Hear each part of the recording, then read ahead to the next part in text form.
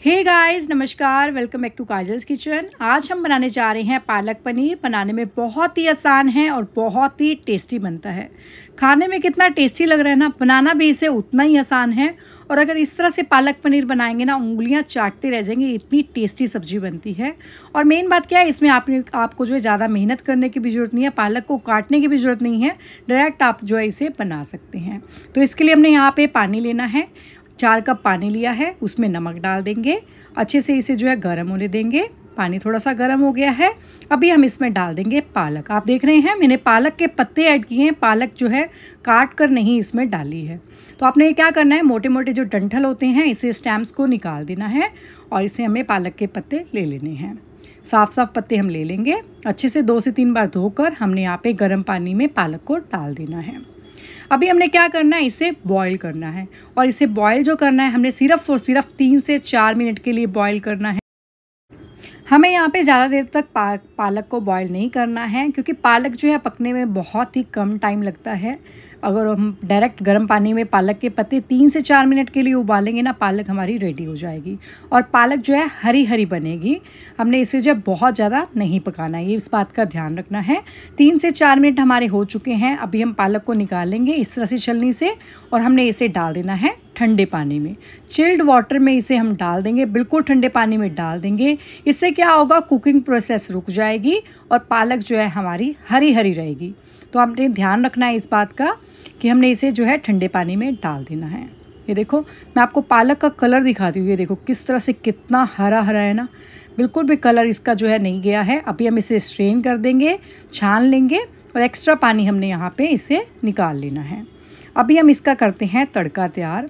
पानी को हम निकलने देंगे, तड़का रेडी कर लेना है इतनी देर में। हमने एक पैन लेना है पैन में हम ऐड करेंगे देसी घी। मैंने यहाँ पे देसी घी लिया है, आप चाहे तो सरसों का तेल रिफाइंड ऑयल ले सकते हैं।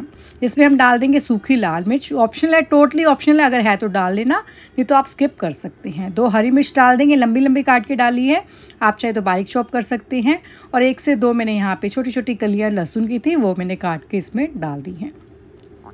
अभी हम इसमें ऐड करेंगे यहाँ पे अनियन। एक बड़ा प्याज है। प्याज को बारीक बारीक चॉप करके हमने इसमें डाल देना है। अच्छे से इसे मिक्स करेंगे। और ये देखो, इसे जो है पकने में भी ज़्यादा टाइम नहीं लगेगा। बस हमने इसको जो ना, हल्का सा पिंक कलर का हो जाएगा। तब तक पकाना है। अभी हम इसमें डाल देंगे टमाटर। एक बड़ा टमाटर लिया है। बारीक बारीक चॉप करके हम इसमें डाल देंगे। इसे जो है हमने दो से तीन मिनट तक अच्छे से पकाना है। तब तक हम यहाँ पे क्या करते हैं? पालक का जो है पानी निकल गया होगा।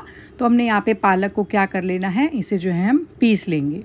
तो हमने यहाँ पे इसे जो है बिल्कुल इसकी प्यूरी नहीं बनानी है। हमने इसको हल्का हल्का सा पीसना है। एक से दो बार मिक्सर को ज़रा सा चलाएँगे और हमने इसे जो है इसका रेडी कर लेनी है। तो अभी हम इसे पीस लेंगे। ये देखो, कुछ इस तरह का हमने इसे रेडी कर लेना है पालक को। ये देखो, पालक कितनी हरी हरी लग रही है ना। आपने बनाई है इस तरह से सब्ज़ी, बहुत ही टेस्टी बनती है और बहुत ही सुंदर सा कलर आता है सब्ज़ी को। कुछ इस तरह से हमने रेडी कर लेनी है। तड़का भी हमारा रेडी हो गया है। अभी हम इसमें डालेंगे मसाले। तो मैंने यहाँ पे लिया है लाल मिर्च पाउडर वन टीस्पून इसके बाद हम इसमें ऐड करेंगे धनिया पाउडर, ये भी वन टीस्पून लिया है। इसके बाद हम इसमें नमक डालेंगे। नमक मैंने यहाँ पे जो है हाफ़ टी स्पून लिया है। आप अपने टेस्ट के अकॉर्डिंग कम या ज़्यादा कर सकते हैं। इसमें डाल लेना है और कोई मैंने मसाले इसमें ऐड नहीं किए हैं। आप चाहे तो इसमें गरम मसाला या फिर जो है किचन किंग मसाला जो है ऐड कर सकते हैं। बस मैंने यही मसाले लिए हैं। अच्छे से इसे मिक्स कर लेंगे और इसे हमने पका लेना है। इसे पकाने के लिए हम इसमें थोड़ा सा पानी ऐड कर देंगे जिससे मिक्सचर जो है मसाला जो है अच्छे से रेडी हो जाए। थोड़ा सा सूखने देना है हमने यहाँ पे पानी को। और इसके बाद हम इसमें डालेंगे पनीर। पनीर के पीसेस करके इसमें डाल देना है। मैंने यहाँ पे 200 ग्राम पनीर लिया है और इस तरह से बड़े बड़े पीसेस मैंने कर लिए थे। इसमें डाल देंगे, अच्छे से मिक्स करेंगे। बिल्कुल अच्छे से मिक्स कर लेना है। अगर आपका पनीर जो है टूट जाता है काटते हुए या फिर क्या होता है, पनीर जो है अक्सर टूट जाता है तो आपने क्या करना है, इसे थोड़ी देर के लिए ना गर्म पानी में रख देना है। फिर आपका जो पनीर है ना टूटेगा नहीं। तो मैंने देखो इसको कच्ची से इस तरह से हिलाया, लेकिन बिल्कुल भी पनीर नहीं टूटा है।